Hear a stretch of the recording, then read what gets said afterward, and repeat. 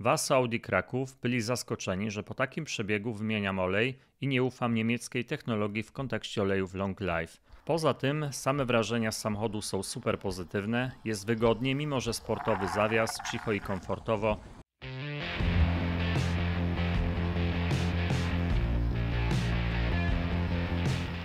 Witajcie w kolejnym odcinku na kanale R2D. Bohaterem tego odcinka będzie prezentowany samochód Audi A4 Avant S-Line, rok produkcji 2024, silnik 2.0 benzyna z hybrydą, 204 koni mechanicznych, przebieg 3028 km. Cel główny odcinka to sprawdzenie w jakiej kondycji jest olej, który pracował w tym samochodzie. Wyróżnikiem tego odcinka będzie analiza próbki oleju z nowego samochodu, pierwsza wymiana od nowości. Inicjatorem tego eksperymentu jest Paweł. Na ekranie prezentuje podstawowe informacje o nim, jego wiek, miejsce zamieszkania oraz preferencje dotyczące wymiany oleju silnikowego. Paweł skierował do laboratorium R2D wyłącznie jedną próbkę. Olej przepracowany po przebiegu 3028 km. Jeśli chodzi o próbkę oleju świeżego to brak, Paweł napisał, że jest to olej fabryczny, zalany w fabryce, a SO nie potrafiło powiedzieć kto był producentem oleju.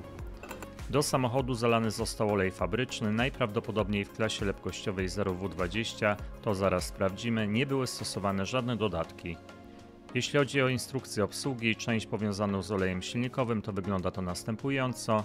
I tutaj mała ciekawostka, powstał osobny short o tych zaleceniach. Zachęcam do obejrzenia, jeśli dla kogoś zalecenia z instrukcji również nie są jednoznaczne. Przebieg badanego oleju to 3028 km, eksploatacja w mieście 25%, Dominują odcinki z przedziału 10-20 km, brak dolewek, olej eksploatowany przez 3 miesiące, brak płukanki. W ramach dodatkowych informacji Paweł napisał tak. Samochodami z grupy WAG jeżdżę od 2006 roku. Wcześniej miałem dwa epizody z Oplami, pomyłka i jeden z Fordem. Przez pierwsze 11 lat dieslami, a od 2017 roku benzynami TSI. Olej zawsze wymieniam co 10 tysięcy kilometrów lub nie rzadziej niż co rok. Z reguły przebieg wymusza wymianę oleju.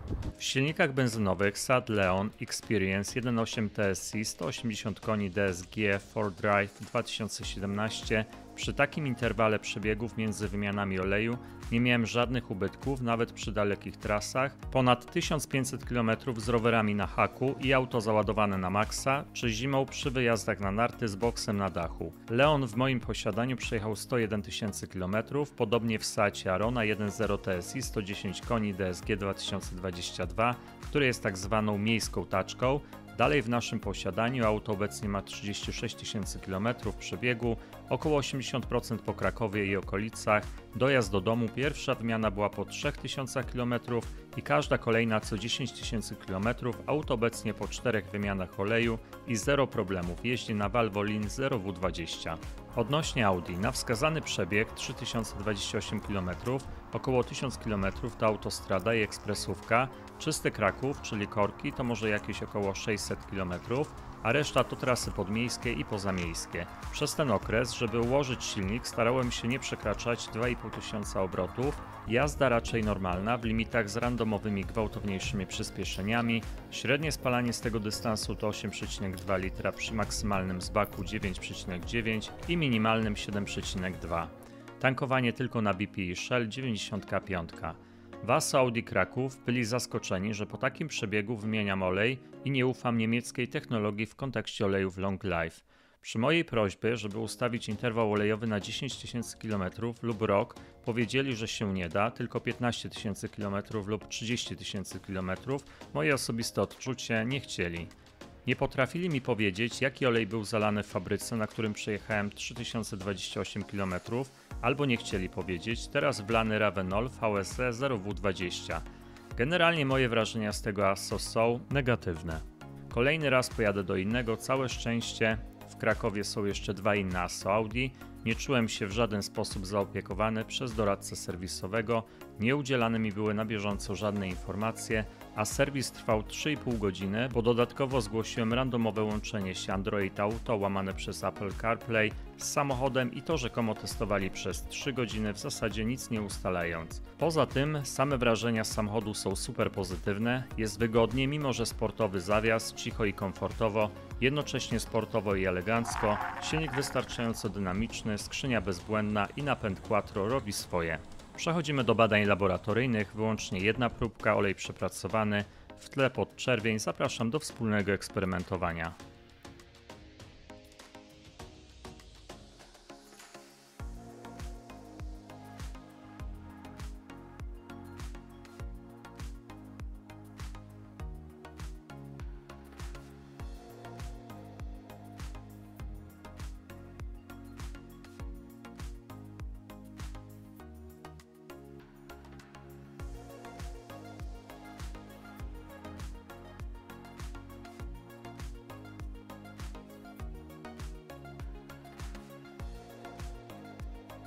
Lepkość dla oleju przepracowanego jest następująca: 37,4 w 40 stopniach oraz 7,8 w 100 stopniach. Wskaźnik lepkości wynosi 184.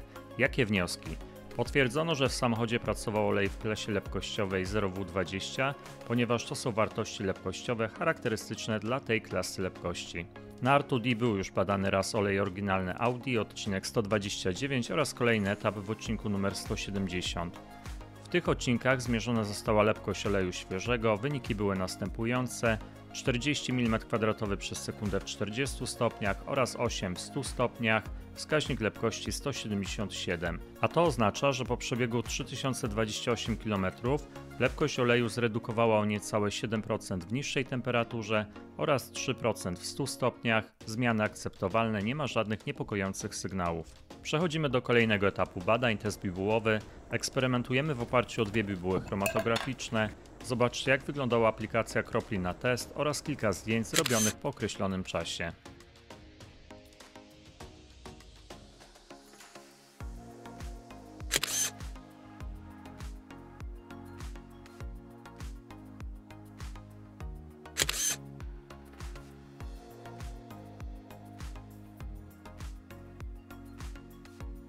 Oglądamy plamę z różnych perspektyw oraz przy wykorzystaniu dodatkowego podświetlenia. Wynik bardzo pozytywny, minimalne zanieczyszczenia, ogólna ocena jakości oleju po takim przebiegu bardzo wysoka. Przechodzimy do podczerwieni, rejestrujemy widma. W pierwszej kolejności to weryfikacja, czy widmo rzeczywiście jest zgodne z widmem oleju świeżego Audi 0W20. Kontrolnie sprawdzamy jeszcze kilka innych olejów w tej klasie, żeby zobaczyć jakie są różnice i potwierdzić ostateczny werdykt. Znając punkt odniesienia, oceniamy poziom degradacji oleju przepracowanego, odejmujemy widmo oleju świeżego od widma oleju przepracowanego, żeby sprawdzić poziom zmian w wyniku rzeczywistej eksploatacji. Podczerwieni następujące wnioski. W zasadzie wszystkie parametry na zielono bądź na pomarańczowo, czyli wczesny stan ostrzegawczy. Sytuacja wydaje się być w pełni pod kontrolą, nie ma żadnych niepokojących sygnałów. W ramach ciekawostek można porównać te poziomy zmian do innego odcinka, w którym po zbliżonym przebiegu w innym samochodzie, z innym silnikiem, z innym olejem, właściciel również zrobił taki pomiar kontrolny. Po pierwsze, była bardzo zbliżona redukcja lepkości, czyli obserwujemy powtarzający się schemat. W podczerwieni również bardzo podobne poziomy zmian, przy czym delikatnie mocniej utlenił się olej właśnie w Audi, Procesy nitrooksydacyjne również delikatnie wyższe dla Audi. Z innych odcinków z pewnością kojarzycie, jakie wartości mogą pojawiać się w tych miejscach. Podsumowując wszystkie trzy testy, wynik pozytywny, brak niepokojących sygnałów z punktu widzenia analizowanych parametrów, natomiast w takiej sytuacji do podkreślenia jest następująca kwestia. Jednym z kluczowych aspektów analizy oleju silnikowego po pierwszej wymianie w nowym samochodzie jest ocena stężenia pierwiastków zużyciowych, takich jak żelazo, miedź, aluminium czy krzem kwestii konieczności wczesnej wymiany oleju zdania są jednak podzielone. Producenci samochodów twierdzą, że nowoczesne silniki są fabrycznie dotarte i precyzyjnie spasowane, dzięki czemu nie wymagają wcześniejszej wymiany oleju.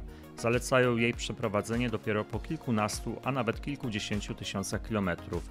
Z kolei wielu użytkowników nadal uważa, że pierwsza wymiana powinna nastąpić znacznie wcześniej, nawet po kilku tysiącach kilometrów, aby usunąć ewentualne pozostałości produkcyjne oraz cząstki powstałe podczas początkowego zużycia silnika. Analiza zawartości pierwiastków zużyciowych w oleju po pierwszej wymianie może dostarczyć cennych danych na temat faktycznego przebiegu procesu docierania oraz skali zużycia poszczególnych komponentów. Niestety u siebie w laboratorium nie mam takich możliwości, żeby to sprawdzić. Rekomenduję, żeby właściciele we własnym zakresie, jeśli chcą mieć pewność, wysyłali próbki do laboratoriów z odpowiednią aparaturą. Dziękuję za wspólne eksperymentowanie. Z góry dziękuję za aktywność na kanale, bo jest ona bardzo ważna. Komentarz, łapka w górę.